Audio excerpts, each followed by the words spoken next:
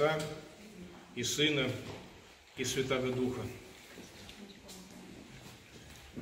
Христос приходит в мир, обещанный, долгожданный всем человеческим родом, упование человеческое, упование и надежда. Ибо по сути своей, если в глубину всмотреться в свое житие, бытие, человек чаще всего ощущает свою жизнь как жизнь в аду. И мы действительно на самом деле живем в аду, братья и сестры. Потому что изгнаны были Богом из рая, а из рая изгоняют только в ад. Другого места-то нет. И когда Адам сидел прямо рая и плакался горько, он оказался, по сути своей, в этом самом пребывалище ада. Есть замечательные-замечательные стихи. Я очень их люблю, иногда повторяю. Дмитрия Кедрина, замечательного русского, советского поэта, поэта 30-х, 40-х годов 20 века, поэта времен разгола атеизма, кошмара атеистического. И вот он как-то написал «Скоро-скоро, в поздний час заката, как погаснет небо синева, я закрою жадные когда-то, а тогда потухшие глаза. И когда я стану перед Богом, я скажу без трепета им, знаешь, Боже, зла я сделал много, а добра должно быть никому. Но смешно попасть мне к черту в руки, чтобы он сварил меня в котле. Нет в аду такой кромешной муки, чтоб не знал я горше на земле. Великие стихи великого атеистического периода нашей жизни, советского периода. Но они осмысливают именно бытие человека. И вот в мир приходит Христос. Он приходит и приносит с собой уже райское бытие. Рядом с ним не может быть никакой скорби. И там, где Он присутствует, там нету ни болезни, ни печали, ни воздыхания. И Он открытый отзывается на любую человеческую нужду. И поэтому мы с вами в Евангелии имеем столько исцелений, столько Божьих благодеяний человеку. Потому что не может быть рядом с ним никакой скорби. Но для этого надо с ним рядом встать. И у нас, братья и сестры, у всех есть такая возможность встать рядом с ним. Несмотря на все наши скорби, несмотря на все наши болячки, болезни, несчастья, неприятности, единственным, по сути своей, прибежищем нашим может быть только Христос. Ну, еще Матерь Божия, конечно. Конечно, она, Царица Небесная. Но прежде всего, конечно, все равно Христос. Встать рядом с Ним – и мы с вами можем это делать, и сегодня только что присутствовали на этом самом таинственном Божьем делании. Литургия. Литургия есть общее дело Бога и человека. Нас с вами и Христа. Христос совершает это великое таинство. Мы принесли Ему в дар хлеб и вино, а Он, стоящий у престола, наитием Духа Святаго притворяет хлеб и вино в свое тело и в свою кровь. И мы с вами слышим на Евхаристии, «Ты от небытия в бытие нас привел еси, и от падшие восставил еси паки, и не отступил еси, донde же нас на небо привел еси, и царство Твое даровал еси будущее». То есть мы сейчас с вами в этом самом вечном, будущем царстве немножечко но побывали. Ощутили мы его или не ощутили, это уже вопрос другой но мы побывали именно в самом этом Царстве Небесном. И условием этого пребывания в этом Небесном Царстве является наша с вами вера.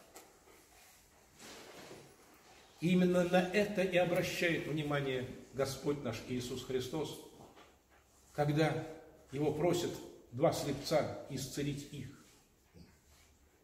И Он первым делом вопрошает – первым имеете.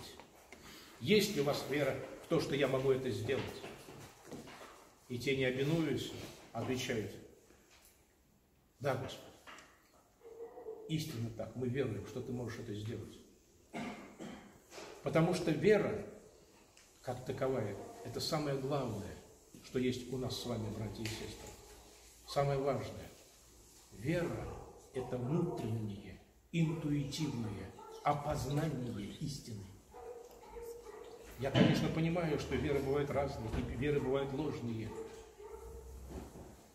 Но внутреннее сердце человеческое, которое ищет Бога, которое жаждет Бога, оно всегда в конечном итоге его находит.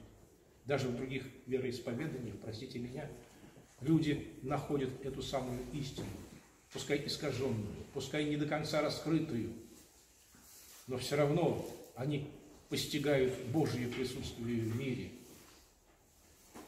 И мусульмане, и язычники, и многие другие. А мы с вами имеем веру откровенную, то есть открытую, раскрытую нам самим Богом. Сам Бог пришел в мир и даровал нам эту самую веру. И наша задача эту самую откровенную веру, дарованную не каким-то пророком, а самим Богом, открытую нам, вместить в свое сердце.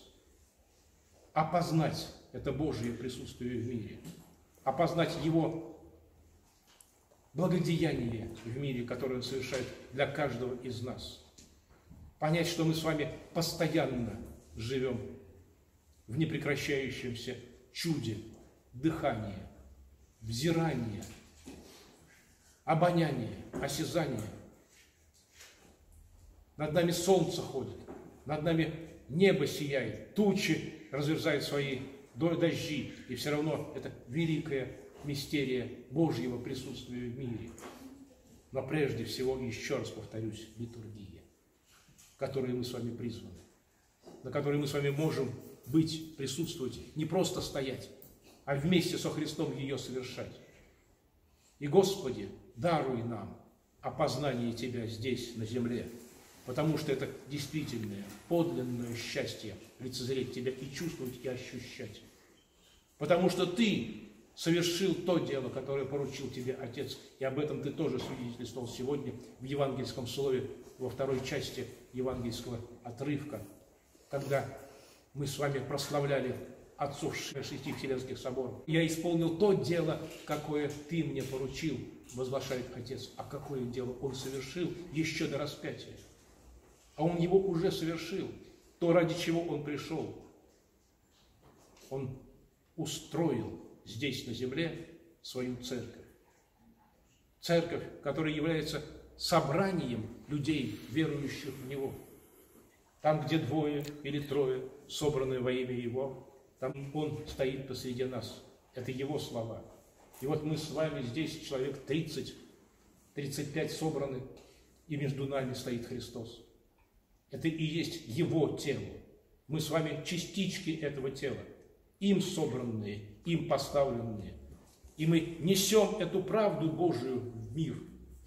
Как нам быть едиными со Своим Словом и со Словом Божьим? Как нам быть едиными со своими поступками и с тем, что видит и прозревает в каждом из нас Господь. Это и есть жизнь Церкви в мире. Жизнь и осуществление правды Божьей в мире. И опознание истины в каждом из нас. Тогда мы Христовы. Тогда мы действительно по-настоящему веруем в Него. Тогда действительно все, что Он нам посылает, мы принимаем как великое благодеяние, ибо этими посланиями Он нас с вами вводит в Царство Свое, где царствует Отец, Сын, Святой Дух, и любовь Божия проникает в каждого из нас. Аминь. Спасибо, Господи, большое.